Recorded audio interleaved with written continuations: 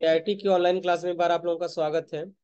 आज की क्लास में हम लोगों को देखना है बैलेंस शीट तो देखिए, ये बैलेंस शीट क्या है? ठीक है बैलेंस शीट हमारा जो है, एक टी सेप स्टेटमेंट होता है। बैलेंस शीट एक टी सेप स्टेटमेंट होता है, जो टी की तरह बना होता है। टी मतलब इस तरीके का टी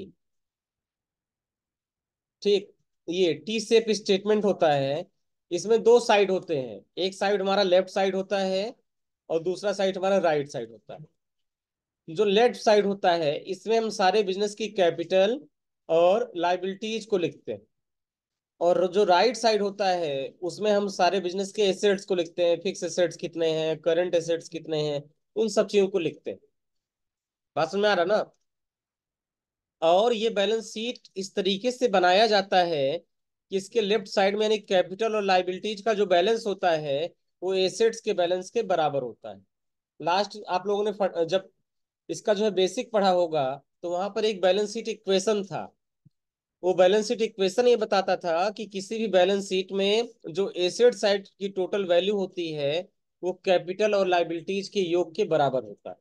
यानी हम ये बोल सकते हैं कि हमारे बिज़नेस में जो एसेट्स हैं, वह हमारे बिज़नेस के कैपिटल और लाइबिलिटीज के लाइबिलिटीज के योगफल के बराबर होते हैं। यानी अगर हम बिज़नेस की कैपिटल को लाइबिलिटीज के साथ जोड़ दें तो हमारे बिज़नेस का जो एसेट्स है, उसकी वैल्यू निकल आएगी।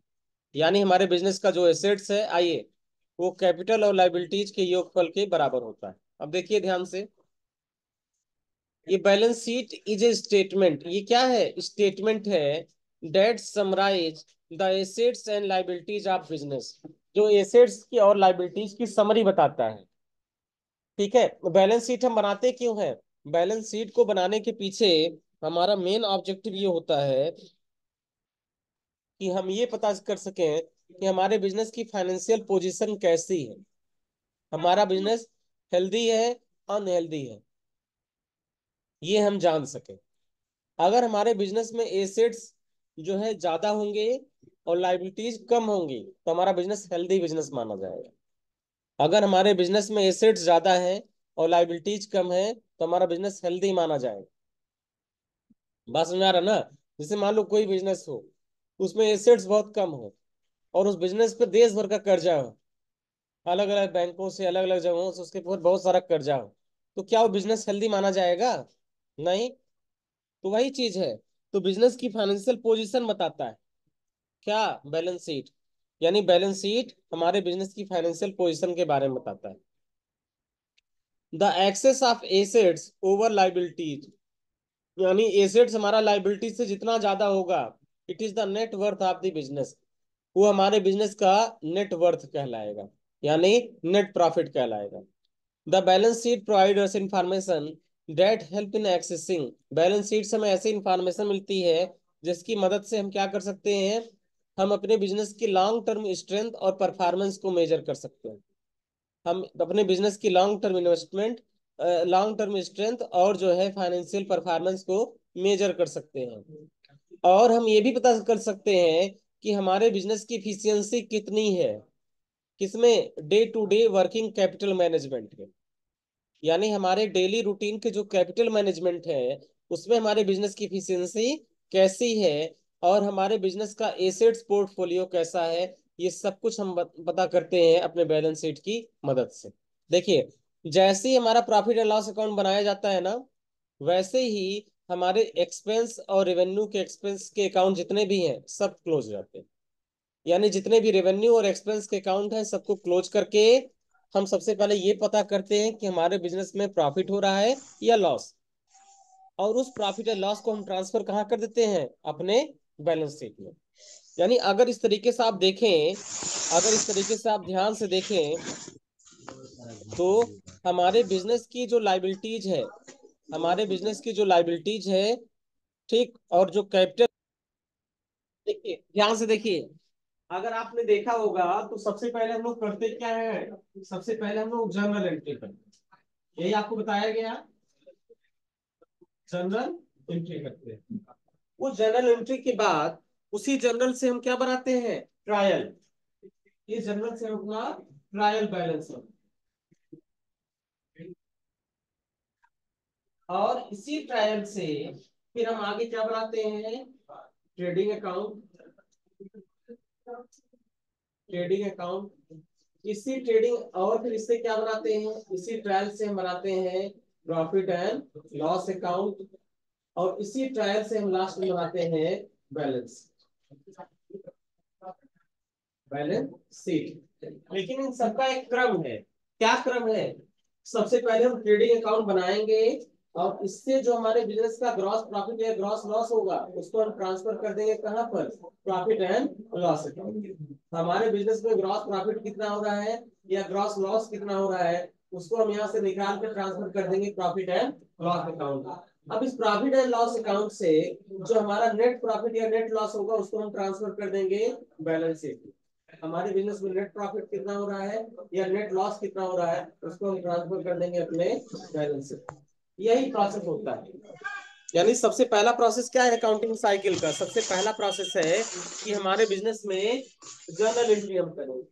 फिर वो जर्नल एंट्री से क्या बनाए? ट्रायल और ट्रायल से क्या बनाए? ट्रेडिंग अकाउंट और ट्रेडिंग में जो हमारा ग्रॉस प्रॉफिट या ग्रॉस लॉस होगा उसको ट्रांसफ़र कर दे हम प्रॉफिट एंड लॉस अकाउंट और इस प्रॉफिट एंड लॉस अकाउंट से जो हमारा नेट प्रॉफिट नेट लॉस बनेगा उसको वापस हम ट्रांसफ़र कर दें अपने बैलेंस शीट यही अकाउंटिंग साइकिल होती है बस। इतना ही काम हमको करना होता है। अच्छी बात यह है कि जब हम टैली में एंट्री करते हैं तो हमारा ये सब कुछ ऑटोमेटिक बन जाता है। ये भैया आप लोग अपना माइक्रोफोन म्यूट कर लो। मनुपाल, बंद कर दे मनु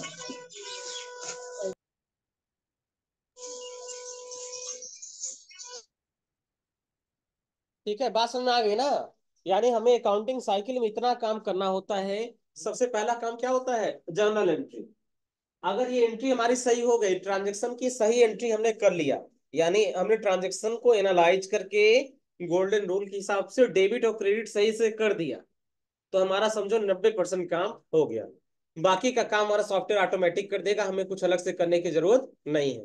लास्ट डेट में हम लोगों ने देखा था ना टैली में एंट्री करके अगर टैली हम जनरल एंट्री सही कर रहे थे तो हमारा ट्रेडिंग भी सही बन जा रहा था। उसी के साथ साथ प्रॉफिट एंड लॉस अकाउंट भी सही बन जा रहा था। और उसी से हमारी बैलेंस शीट भी सही बन जाएगी। यानी सबसे मेन हमको किस पर फोकस करना है? मेन फोकस करना जनरल एंट्री पर। यानी सॉफ्टवेयर के रिस्पेक्ट में अगर हमको काम करना है सॉफ्टवेयर के साथ काम करना है, और आगे चल के सॉफ्टवेयर के साथ ही काम करना है, ऐसा तो है नहीं कहीं आपको मुंशी बना दिया जाएगा। आप भाई खाता बैठ के लिखेंगे रजिस्टर्स पर। ये तो काम आपको करना नहीं है। आप कंप्यूटराइज अकाउंटिंग सीख रहे हैं। तो आगे चल के आपको सिस्टम पर ही काम करना है। तो सबसे मेन चीज़ आपका फोकस होना चाहिए कि आपकी जनरल एंट्री सही है। अगर ये एंट्री सही है तो ट्रायल भी सही बन जाएगा। ट्रायल सही बन गया तो ट्रेडिंग सही बन जाएगा पीएल सही बन जाएगा, और बैलेंस शीट भी आपकी ऑटोमेटिक बन जाएगी। कुछ आपको अलग से करने की ज़रूरत नहीं है। बस अरते आपकी एंट्री सही होनी चाहिए। बस एक चीज़ का आपको ध्यान देना है। एंट्री गलत होगा तो ये सारे अकाउंट्स ऑटोमेटिक गलत हो जाएँगे। इसमें कुछ कर नहीं सकते हम चलिए। देखिए, बोला जा रहा है all revenue and expense account are close once the profit and loss account prepare जैसे आप प्रॉफिट एंड लॉस अकाउंट को बनाते हैं, आपके जितने भी रेवेन्यू और जितने भी एक्सपेंस के अकाउंट होते हैं, सब ऑटोमेटिक क्लोज हो जाते हैं। यानी प्रॉफिट एंड लॉस अकाउंट हमने बनाया तो सारे रेवेन्यू और एक्सपेंस के अकाउंट को क्लोज करके सबकी समरी बना दिया। और ये पता कर लिया कि हमें नेट प्रॉफिट हो रहा है या नेट लॉस अब नेट प्रॉफिट हो रहा है तो भी हम कैपिटल में ट्रांसफ़र कर देंगे बैलेंस शीट के साथ। और नेट लॉस हो रहा है तो भी हम ट्रांसफ़र कर देंगे। कैसे करेंगे? आगे की क्लास हम लोगों को देखना है। फिर देख रहा है। फिर बोला जा रहा है expenses account will not have an opening balances for the next accounting period किसी भी एक्सपेंस के अकाउंट का ओपनिंग बैलेंस नहीं होता है। किसी भी एक्सपेंस के अकाउंट का ओपनिंग बैलेंस नहीं होता है। देखिए आपको शुरू की क्लासेस में पढ़ाया भी गया होगा थोड़ा सा हम रिपीट कर दे रहे हैं। ठीक है शुरू की क्लासेस में आपको बताया गया हो, होगा कि हमारे बिज़नेस में पाँच तरीके के लेजर होते हैं। पाँच तरीके के लेजर होते हैं। पहला लेजर होता है हमारा कैप कैपिटल का।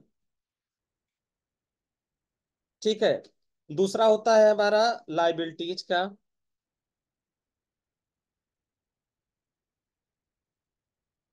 और तीसरा होता है हमारा एसेट्स का। चौथा होता है हमारा प्रॉफिट का और पांचवा होता है हमारा लॉस का। ये पाँच तरीके के बना, बताए गए होंगे आप लोग को। ठीक है? इसमें जो शुरू के तीन है, ये हमारे परमानेंट नेचर के शुरू के तीन यानी कैपिटल लाइबिलिटीज और एसेट्स, ये हमारे कैसे हैं? परमानेंट नेचर के हैं। यानी इनका बैलेंस कभी खत्म नहीं होता है। इनका बैलेंस तभी समाप्त होगा जब बिज़नेस को हम बाइंड अप करेंगे, बिज़नेस को क्लोज करेंगे तब। इनका बैलेंस हमेशा एक साल से ट्रांसफ़र होगा, अगले साल अगले साल से ट्रांसफ़र होके अगले साल अगले साल से ट्रांसफ़र होके अगले साल। इस साल हमारे पास बीस लाख का कैपिटल था, ठीक? तो वो कैपिटल हमारा समाप्त नहीं होगा, वो कैपिटल हमारा अगले साल में फिर ट्रांसफ़र हो जाएगा। अगले साल में कैपिटल हमारा प्लस माइनस कुछ और होगा, फिर वो ट्रांसफ़र होकर नेक्स्ट ईयर जाएगा। यानी ये कैपिटल लाइबिलिटीज और एसेट्स के जो बैलेंसेज हैं, ये कभी खत्म नहीं होते हैं। लेकिन जो प्रॉफिट एंड लॉस है, यानी हम इसको बोल सकते हैं प्रॉफिट ना कह के हम इसको बोल सकते हैं रेवेन्यू जो हमारे रेवेन्यू के अकाउंट्स होते हैं, जो हमारे रेवेन्यू के हैं, और जो हमारे एक्सपेंसेज के हैं इनका बैलेंस हमें हर साल के अंत में क्लोज कर देना होता और हर साल के अंत में क्लोज करने के बाद जो भी प्रॉफिट या लॉस निकलता है, उसको हमें ट्रांसफ़र कर देना होता है कैपिटल में।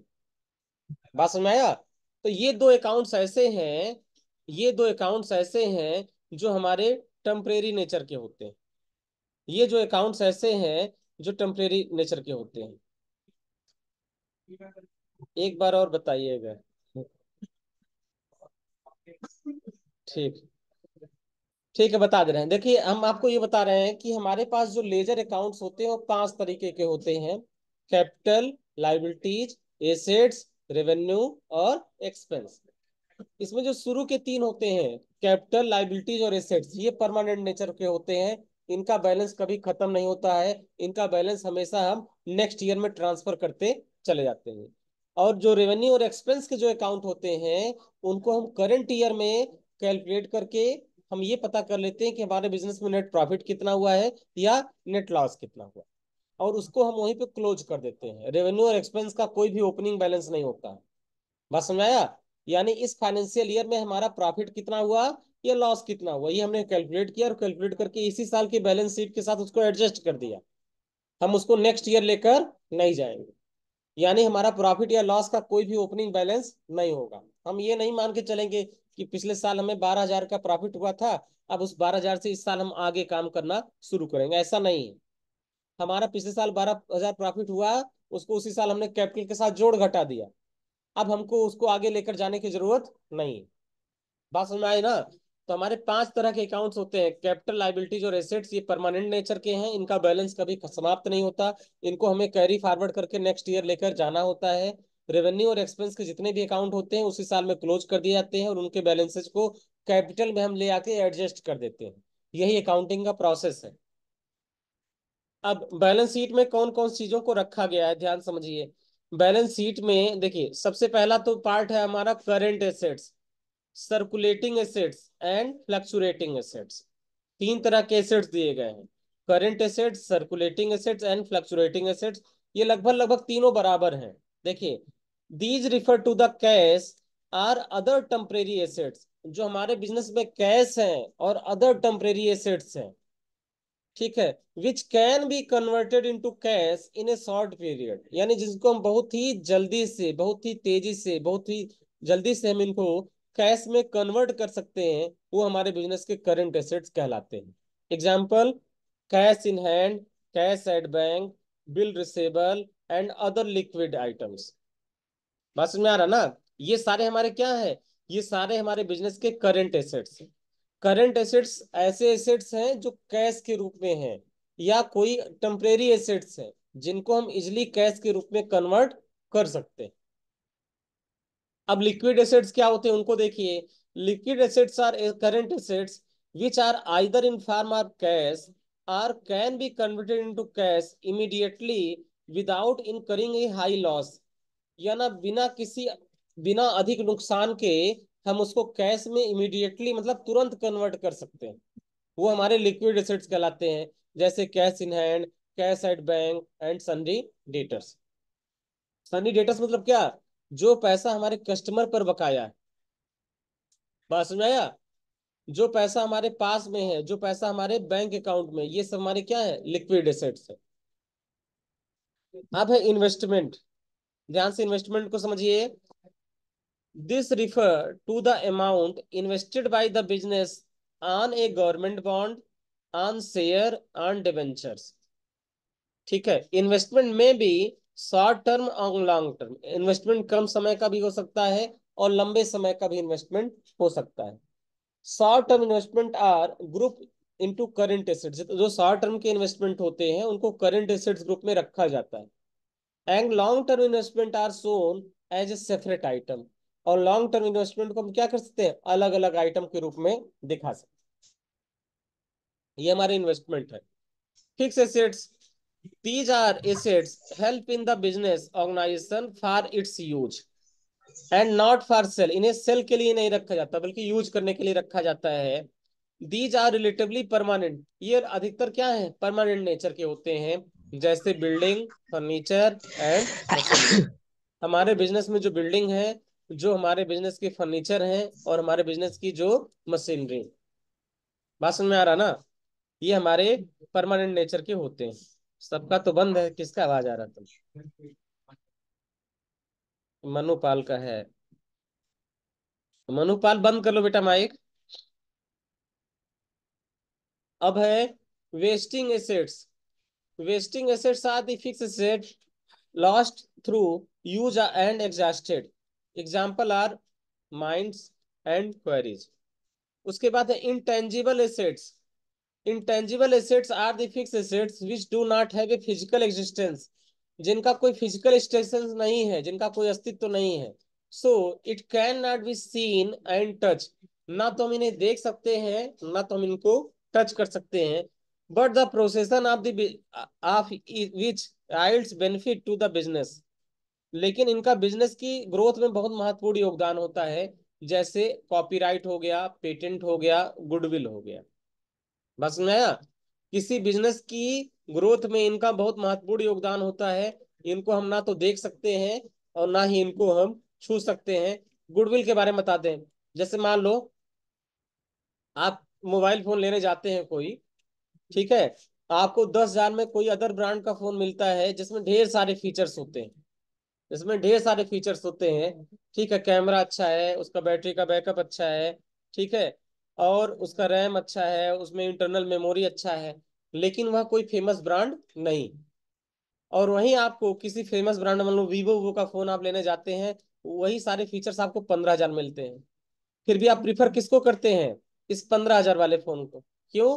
क्योंकि पंद्रह हज़ार वाले फ़ोन की मार्केट में वैल्यू अच्छी है और इसकी मार्केट इमेज अच्छी है, इसको हम बेहतर मानते हैं। नया तो उस गुडविल की वजह से हम किसको प्रिफर कर रहे हैं? हम वीवो वाले फ़ोन को प्रिफर कर रहे हैं, अदर किसी, अदर फ़ोन को छोड़कर। तो इससे क्या है? इससे हमारी वीवो की सेल होती है, यानी यह बिज़नेस के प्रोग्रेस में एक महत्वपूर्ण है। तो गुडविल का मतलब होता है अच्छी ख्याति अच्छा नाम। बात समझ आया तो जिस ब्रांड का नाम अच्छा होता है, उसको आप विश्वसनीय मानते हैं और उसी से प्रोडक्ट खरीदना पसंद करते हैं। बात समझ आ रहा ना, उसी को हम बोलते हैं गुडविल गुडविल का मतलब होता है किसी भी बिज़नेस की मार्केट में एक अच्छी इमेज अच्छी ख्याति अच्छा उसका जो है एक स्टैंडर्ड हाँ? कॉपीराइट क्या है? कॉपीराइट का मतलब ये होता है कि अपने बिज़नेस के जो नेम है, उसको हमने सिक्योर करा लिया है। अब उस उस नाम से कोई दूसरा पर्सन उस बिज़नेस को ओपन नहीं कर सकता। उससे बोलते हैं कॉपीराइट तो उसका बिज़नेस की ग्रोथ में बहुत महत्वपूर्ण योगदान है। पेटेंट भी इसी तरीके का होता है। पेटेंट अधिकतर होता है किसी प्रोडक्ट के केस में। किसी प्रोडक्ट के केस में। उस प्रोडक्ट की डुप्लीकेसी ना हो। इसके लिए उस प्रोडक्ट को जो है हम रजिस्टर्ड करा लेते हैं पेटेंट करा लेते हैं जिससे उस प्रोडक्ट का कोई दोबारा दो, सेकेंड कॉपी ना बना सके। तो ये ज़्यादातर इस्तेमाल किए जाते हैं जैसे आर्ट एंड ड्रामेटिक केस में। मान लो कोई फ़िल्म में कोई, किसी मूवी में कोई गाना बनाया गया, अब उस गाने को उसने क्या कर दिया, पेटेंट करा लिया। अब उस गाने का डुप्लीकेट गाना कोई दूसरा मूवी वाला नहीं बना सकता। और कॉपीराइट विशेष कर होता है किसी बिज़नेस के नेम को सुरक्षित रखने के लिए, उस बिज़नेस के नाम को बचाने के लिए। उस नाम से कोई दूसरा बिज़नेस नहीं शुरू कर सकता। तो इस तरह आपको दे रखा है। ये है fictitious assets are the debit balance. तो ये डेबिट बैलेंस में होते हैं expense and losses carry forward from one accounting period to another. These are fictitious and not represented by any tangible and concrete property. Example are heavy advertisement expense not written off and preliminary expense. यानी जो heavy expense होते हैं, उनको जो हम इसमें नहीं note करते। हैं अब देखो, ये बैलेंस शीट का एक फॉर्मेट आपके सामने दे रखा है। ये बैलेंस शीट का एक फॉर्मेट दे रखा है। इस फॉर्मेट को अगर आप ध्यान से देखेंगे तो इसके भी दो साइड आपको नज़र आएँगे। पहला साइड आपका लेफ़्ट साइड है, जिसमें आपके एसेट्स होंगे, और दूसरा साइड आपका राइट साइड है, जिसमें आपके बिज़नेस का एसेट्स होगा। लेफ़्ट साइड में हमारे बिज़नेस का लाइबिलिटीज है, और राइट साइड में हमारे बिज़नेस का एसेट्स देखिए, ये बैलेंस शीट का फॉर्मेट ध्यान से देखिए, सबसे पहला पॉइंट है लाइबिलिटीज का। लाइबिलिटीज में और दूसरा, दूसरे साइड हमारा एसेट्स का। यानी ये शुरू के जो तीन कॉलम बनाए गए हैं, ये हमारे लाइबिलिटीज के हैं और इधर के जो कॉलम बनाए गए हैं, वो क्या है? एसेट्स के। लाइबिलिटीज में सबसे पहली चीज़ है कैपिटल यानी हमारे बिज़नेस के स्टार्ट में बिज़नेस में कैपिटल कितना था, वो अमाउंट हम यहाँ पे मेंशन कर देंगे। उसके बाद हमारे बिज़नेस के मालिक का निजी जो खर्च होगा ड्राइंग उसको हम इसमें से लेस कर देंगे। लेस कर मतलब घटा देंगे। फिर उसके बाद अगर हमारे बिज़नेस में प्रॉफिट हो रहा है तो प्रॉफिट को इस बिज़नेस में लाके जोड़ देंगे। और अगर हमारे बिज़नेस में लॉस हो रहा है तो हम उसको यहाँ क्या कर देंगे? घटा देंगे। देखा, लिखा है ना लेस नेट लॉस हमारे बिज़नेस में जो भी नेट लॉस होगा, उसको हम यहाँ से घटा देंगे और प्रॉफिट जो होगा, उसको ला के हम यहाँ पर जोड़ देंगे। फिर दे रखा इंटरेस्ट ऑन कैपिटल अब हमारे बिज़नेस में जो भी इंटरेस्ट हमने लगाया कैपिटल पर, उसको भी हम ला के यहाँ पे जोड़ देंगे। सब प्लस माइनस करने के बाद जो बैलेंस आएगा, उस बैलेंस को हम यहाँ पे आके लिख देंगे। यही हमारा क्लोजिंग कैपिटल होगा। और यही कैपिटल हमारा नेक्स्ट ईयर के लिए क्या कहलाएगा? ओपनिंग कैपिटल यही कैपिटल हमारा अगले साल के लिए ओपनिंग कैपिटल कहलाएगा। अब हमारे बिज़नेस की अगली हेडिंग है लॉन्ग टर्म लाइबिलिटीज जैसे अगर हमने बैंक में कोई लॉन्ग टर्म लोन ले रखा है तो हम उसको ला के यहाँ पे मेंशन कर देंगे नोट कर देंगे। लॉन्ग टर्म डिपॉजिट है तो उसको भी यहाँ पे मेंशन कर देंगे। जरा से एक मिनट देखें यूपीएस को देखिए, हमारे बिज़नेस में कोई लॉन्ग टर्म लोन है तो हम उसको यहाँ मेंशन करेंगे। लॉन्ग टर्म डिपॉजिट है तो उसको यहाँ पे मेंशन करेंगे। करंट लाइबिलिटी हमारे बिज़नेस का अगर कुछ भी है, जैसे हमारा सबसे पहला है इनकम रिसीव्ड इन एडवांस हमने अपने कस्टमर से कुछ पैसा एडवांस ले रखा है तो उसको हम यहाँ पे मेंशन करेंगे. लाइबिलिटीज फॉर एक्सपेंसेज कुछ ऐसे एक्सपेंसेज हैं जिनका पेमेंट हमने नहीं किया है, वो लाइबिलिटीज हमारे ऊपर बनी हुई है, उसको अमाउंट हम यहाँ पे लिख देंगे. सन्ड्री क्रेडिटर यानी सप्लायर का कितना पैसा हमारे ऊपर बकाया है, वो अमाउंट हम यहाँ पे लिख देंगे. बिल पेबल जो पैसा हमें पे करना है, उसका अमाउंट हम यहाँ पे मेंशन कर देंगे. बैंक ओवरड्राफ्ट बैंक में कोई ओडी अकाउंट खोल रखा है, उसका जो बैलेंस होगा, उसको लाके हम यहाँ पे मेंशन कर देंगे। शार्ट टर्म लोन हमारे बिज़नेस में कोई छोटा मोटा लोन है तो उसका अमाउंट हम यहाँ पे मेंशन कर देंगे। चलिए, अगला है, हमारे बिज़नेस में जो गुडविल होगी, उस गुडविल का बैलेंस हम यहाँ पे मेंशन कर देंगे। पेटेंट्स कॉपीराइट के जो बैलेंसेज होंगे, उसको हम यहाँ पे मेंशन कर देंगे। लैंड और बिल्डिंग के जो बैलेंसेज होंगे, उसको हम यहाँ पे मेंशन कर देंगे। प्लांट और मशीनरी का बैलेंस हम यहाँ पे मेंशन कर देंगे। मोटर व्हीकल हमारे बिज़नेस में कुछ भी है। जैसे मान लो, हमने गुड्स की डिलीवरी करने के लिए कोई पिकअप वगैरह ले रखा है, ना? या हमारे पास कोई भी ऐसी व्हीकल है, उसका बैलेंस हम यहाँ पे मेंशन कर देंगे। फर्नीचर एंड फिक्चर्स हमारे बिज़नेस में जो भी होगा, उसका बैलेंस हम यहाँ पे मेंशन कर देंगे। हमारे बिज़नेस में जो लॉस टूल्स हैं, उनको हम यहाँ पे मेंशन कर देंगे। उसके बाद है long term investment long term investment में क्या क्या चीज़ें हैं? जैसे हमारे बिज़नेस का करंट एसेट्स है, वो हम यहाँ पे लिख लेंगे। हमारे बिज़नेस में कहीं शॉर्ट टर्म इन्वेस्टमेंट कर रखा है, वो उसका अमाउंट भी हम यहाँ पे मेंशन कर देंगे। आउटस्टैंडिंग इनकम ऐसी इनकम जो जनरेट तो हो गई है, लेकिन अभी तक रिसीव नहीं हुई है, उसे हम यहाँ पे मेंशन कर देंगे। प्रीपेड एक्सपेंस हमारे बिज़नेस का कोई प्रीपेड एक्सपेंस है, उसको हम यहाँ पे मेंशन कर देंगे। Closing stock last financial year का बचा हुआ स्टॉक उसको हम यहाँ पे मेंशन कर देंगे। बिल रिसेबल ऐसा बिल जो जनरेट तो हो गया लेकिन अभी तक हमको रिसीव नहीं हुआ है रिसीव होने वाला है, उसका बैलेंस हम यहाँ पे मेंशन कर देंगे। कैश इन बैंक हमारे बैंक में जो पैसा उसका बैलेंस हम यहाँ पे मेंशन कर देंगे और कैश इन हैंड इनका बैलेंस हम यहाँ पे मेंशन कर देंगे। दोनों साइड को जब जोड़ेंगे तो ये दोनों साइड ऑटोमेटिक आपके बराबर आने चाहिए। अगर ट्रायल आपका सही बना होगा तो आपका ये दोनों साइड का बैलेंस आपका ऑटोमेटिक बराबर आ जाएगा, इसमें कहीं पर भी कोई डिफरेंस नहीं आएगा। बात समझ आया ना? अगर हमारे पास ट्रायल सही बना होगा तो हमारा दोनों साइड का बैलेंस ऑटोमेटिक सही होता चला जाएगा। आप इसके लिए कुछ आपको करने की ज़रूरत नहीं। जैसे देखिए, नीचे क्वेश्चन दे रखा है आपके।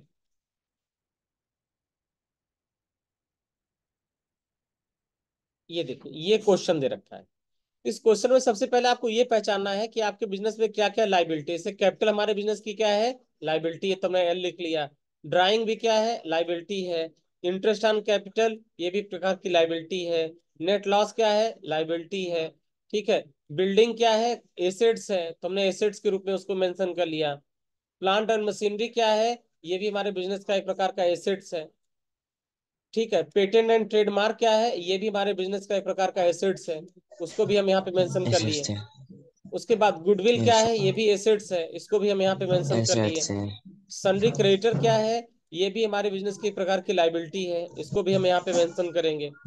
सनी डेटर्स का जो बैलेंस है वो बिज़नेस का एसेट्स है। बिल रिसेबल ये भी बिज़नेस का एसेट्स है। तो आपको मेन ये पहचानना है कि आपके बिज़नेस में कौन कौन से एसेट्स हैं और आपके बिज़नेस में कौन कौन सी लाइबिलिटी एसेट्स हैं। ठीक है? आपके बिज़नेस में कौन कौन चीज़ें हैं जो एसेट्स हैं और कौन कौन सी चीज़ें हैं जो लाइबिलिटीज मनुपाल आए हैं क्या? कि घर से पढ़ रहा है बैठ के। अच्छा।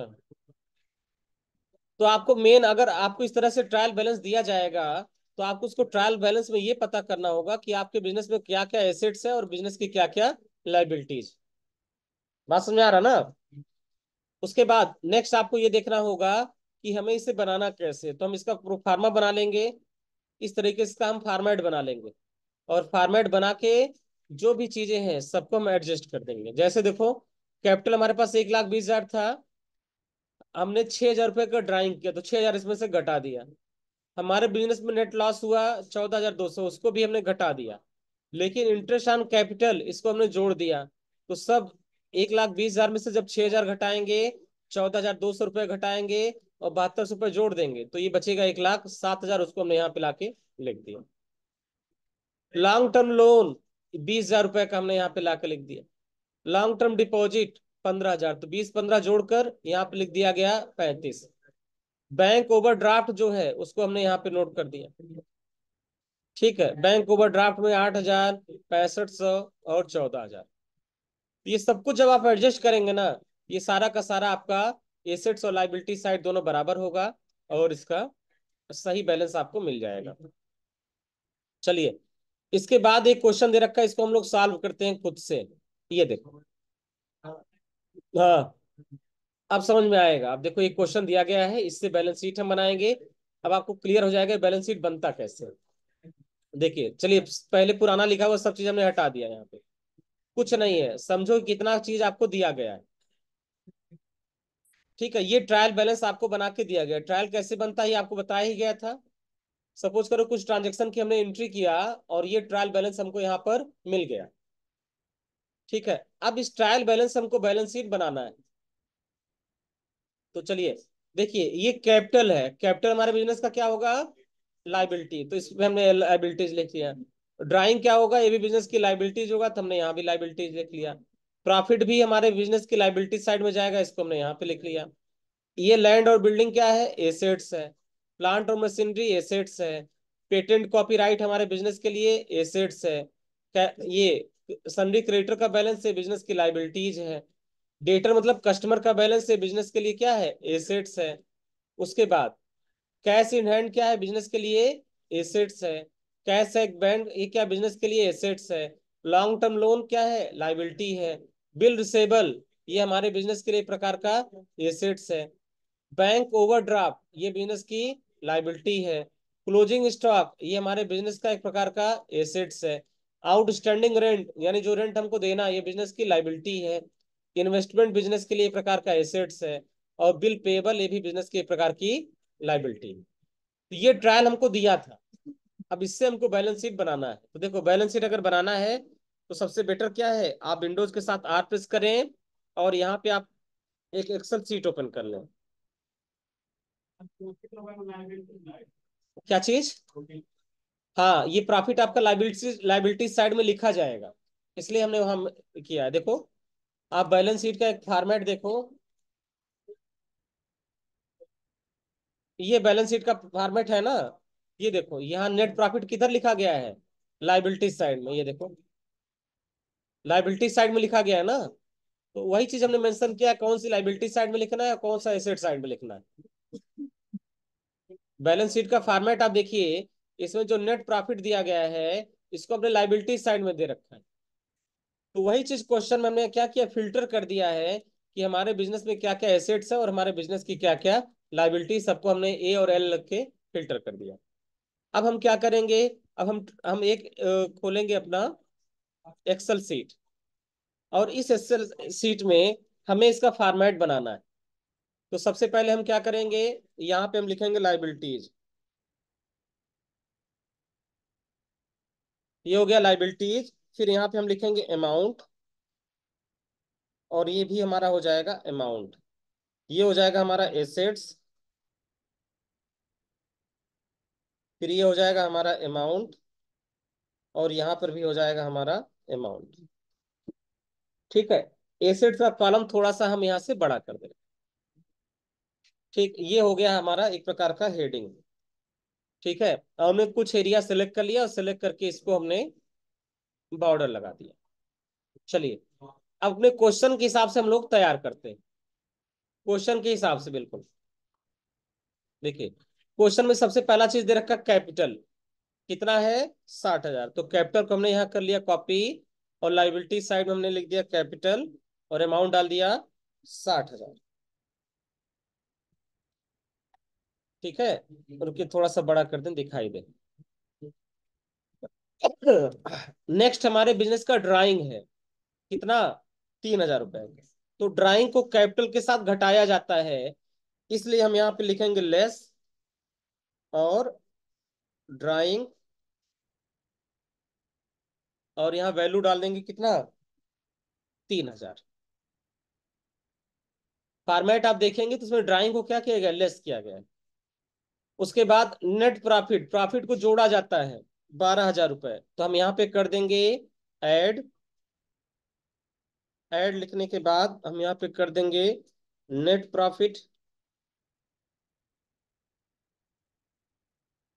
ठीक है?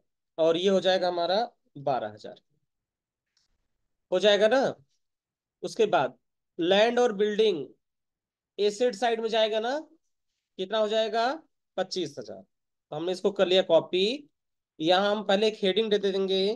फिक्स्ड फिक्स एसेट्स ये हो गया हमारा फिक्स एसेट्स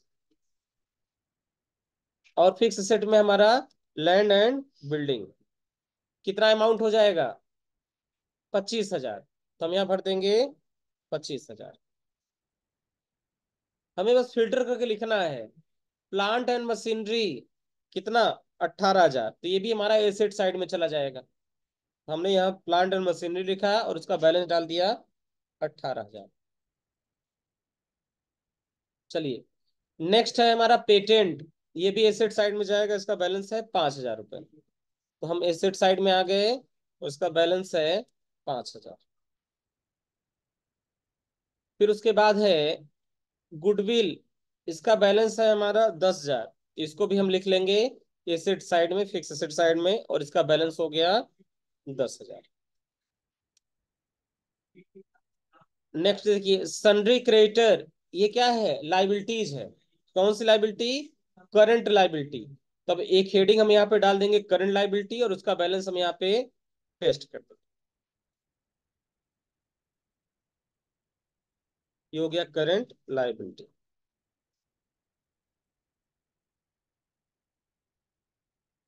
ये हो गया हमारी करंट लाइबिलिटी इसको हमने कर दिया कंट्रोल बी से बोल्ड ठीक है, यहाँ इसको भी बोल्ड कर देते हैं। अच्छा सन्डी क्रेटर का बैलेंस कितना दे रखा है? सोलह हज़ार। तो सोलह हज़ार बैलेंस हम यहाँ पे लिख लेंगे। ठीक, उसके बाद नेक्स्ट है हमारा सन्नी डेटर्स ये किधर जाएगा? एसेट साइड में. सन्नी डेटर हमारा करंट एसेट्स होता है. इसलिए हम यहाँ पे जाएँगे और इसको पेस्ट कर देंगे और यहाँ हेडिंग डाल देंगे करंट एसेट्स का. करंट एसेट्स ठीक है? इसको हमने कर दिया कंट्रोल बी से बोल्ड कितना बैलेंस सनी डेटर्स का? तीस हज़ार है ना? तो हम यहाँ बैलेंस भर देंगे तीस हज़ार.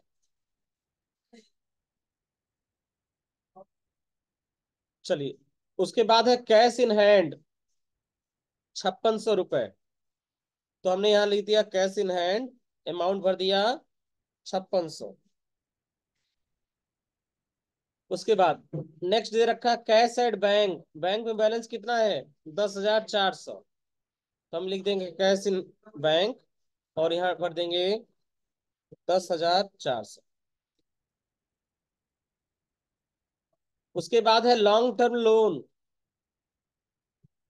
ठीक है, इसको हम कर लेंगे कॉपी और ये हो जाएगा हमारा चालीस हज़ार। तो ये हो जाएगा हमारी लाइबिलिटी साइड में। लॉन्ग टर्म लोन कितना है? चालीस हज़ार। तो ये बैलेंस हम यहाँ पे मेंशन कर देंगे।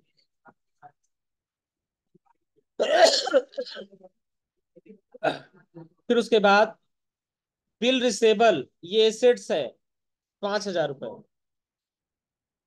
तो हम इसको यहाँ पे मेंशन करके यहाँ भर देंगे पाँच हज़ार। फिर है बैंक ओवरड्राफ्ट यह लाइबिलिटी है पाँच हज़ार का। इसको हम करेंगे कॉपी एंड कॉपी करने के बाद हम यहाँ पे कर देंगे पेस्ट और बैलेंस भर देंगे पाँच हज़ार। क्लोजिंग स्टॉक एसेट्स है पंद्रह हज़ार। पाँच सौ। तो हम एसेट साइड में आएँगे, लिख देंगे, यहाँ बैलेंस हो जाएगा पंद्रह हज़ार पाँच सौ। ठीक है? नेक्स्ट उसके बाद देखिए आउटस्टैंडिंग रेंट कितना है? पंद्रह सौ रुपए। इसको हम करेंगे कॉपी एंड कॉपी करने के बाद हम यहाँ पे कर देंगे पेस्ट लाइबिलिटीज कितना दे रखा है? पंद्रह सौ रुपए।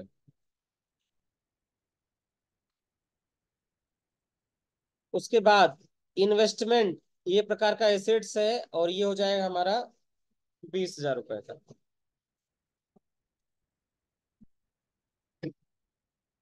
बीस हज़ार। उसके बाद बिल पेबल, ये हो जाएगा तेरह हज़ार। ये हो गया तेरह हज़ार। सब नोट हो गया ना सेव कर लेते हैं।